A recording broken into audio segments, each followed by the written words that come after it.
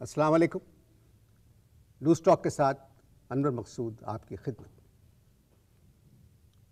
एक बात तो आप जानते हैं, चंद बरस पहले पाकिस्तान में टेलीविज़न का एक ही चैनल था पीटीवी उसके बाद नए चैनल आना शुरू हुए, एक, दो, तीन, चार। और अब ये हाल है कि लातादाद चैनल हैं टीवी के। और आने वाले सालों में इनकी तादाद दुगनी हो जाएगी। लिखने वाले वही हैं, अदाकार वही हैं, इश्तहार वही हैं, डायरेक्टर वही हैं, म्यूज़िक डायरेक्टर वही हैं। कौन क्या करेगा? अल्लाह जाने। आज लू स्टॉक में मेरे मेहमान हैं। आपके बारे में मैंने सुना है कि एक चैनल खोलने जा रहे हैं। तो आइए देखते हैं कि ये अपने चैनल के बारे में क्या कहते हैं। अस्सलाम वालेकुम। वालेकुम सलाम। लेकिन मैं आपकी एक बात से ज़रा इख्तलाफ करता हूँ। ये जो आपने कहा ना चैनल खोलने जा रहे हैं जा नहीं रहे। आप कहें चैनल खोलने आ रहे हैं। हम जा नहीं रहे आ रहे हैं।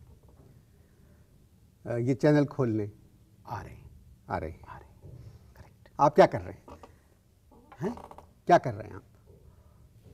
मैं तो इस वक्त आराम से बैठा हुआ हूँ और बहुत तेज़ी व तमीज़ से बैठा हूँ।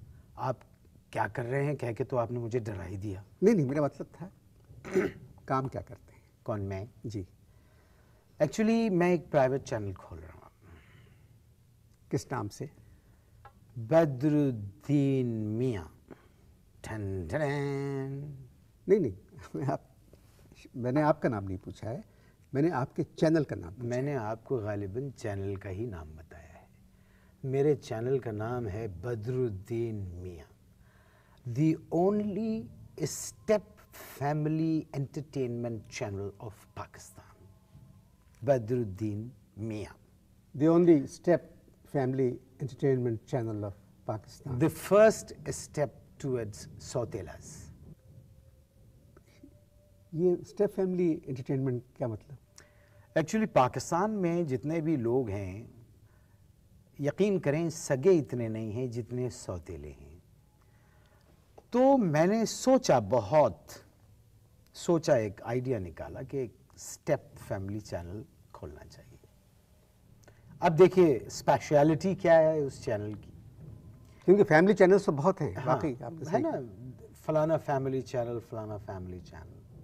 अब ये है स्टेप फैमिली चैनल अब देखें इसकी जो ख़ास बात यह है कि पूरा स्टाफ जो है वो सारे सौतेले हैं। एक भी सगा नहीं है। ठीक?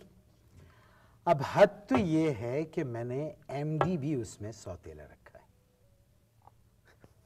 मालिक? मालिक ये बैठा हुआ है आपके सामने। मेरा तो फेस ही ऐसा है कि मेरा फेस देखते ही लोग कह देते हैं वो जा रहा है सौतेला। बिल्कुल कहते हैं मेरे फेस पे लिखा हुआ है कि मैं सौतेला हूँ। सर मुझे पूछना तो नहीं चाहिए। जी। मगर आप बहुत ज़ोर दे रहे हैं सौतेलों पर। जी। तो आप किस तरह सौतेले? एक्चुअली मेरे जो वालद साहब थे अब मैं झूठ नहीं बोलूँगा उनको शादियाँ करने के अलावा और कोई काम अब क्या हुआ कि जो दादा थे उन्होंने भी चार की थी और उस उन चार से लातादाद बच्चे उनके हुए। और इसी वजह से पूरी दिल्ली में जहाँ वो रहते थे उनके आस पड़ोस वाले कहते थे उनके घर को पीकिंग। पीकिंग क्यों कहते थे? पीकिंग आबादी की वजह से कहते थे। एक तो आबादी रीज़न थी कि बहुत सारे थे और दूसरा जो रीज़न था कि घर में एक सौ माफ़ करना, सोर थ्रोट है। घर में एक सौ सत्ताईस अफराद जो है, वो पान खाते थे। अब वो क्या करते थे? पान खा के घर की जो खिड़कियाँ हैं ना, उनको खोल के वहाँ से जाके पीक करते थे। एंड वॉट अ पीक ऐसी पिचकारियाँ मारते थे। मेरे जो ग्रैंडफादर थे ना, दादा, उनकी जो पिच थी ना, वो तो इतनी ज़बरदस्ती बड़ी पावरफुल उनकी पुच थी। लोग दूर से देखने आते थे और इसी वजह से उस घर को सारे लोग पीकिंग कहते थे। घर में उगालदान नहीं थे? थे बहुत थे। दे लॉट ऑफ़ उगालदान्स। लेकिन उनके ऊपर घर के छोटे छोटे बच्चे जो है ना वो बैठे रहते थे हर वक्त। और हर पाँच मिनट बाद एक आवाज़ आती थी मम्मा कर लिया डैडी कर लिया नाना कर लिया। एक शोर मचा रहता था।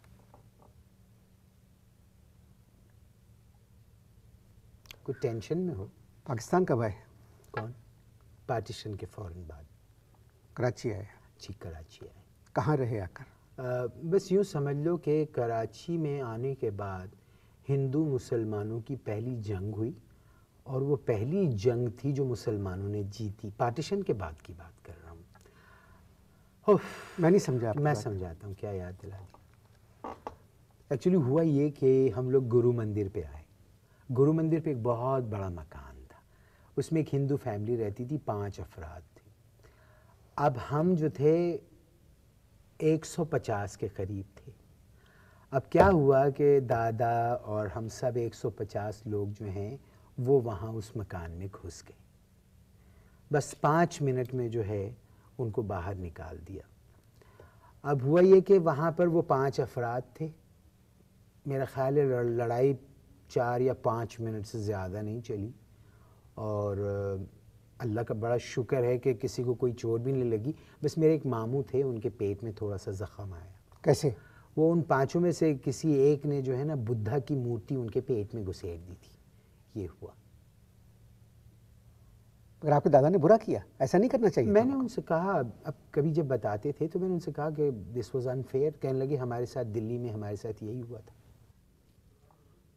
मगर आपको तो याद होगा कि दिल्ली में आपके साथ क्या कुछ हुआ। जी हाँ दिल्ली में एक्चुअली दिल्ली से यहाँ माइग्रेट करने से पहले आखिर में दादा की जो चौथी थी उनके यहाँ पर आठवां हुआ था। अब क्या हुआ, अनवर साहब, कि अब 150 बच्चे कितने नाम लुगत में से मिलेंगे?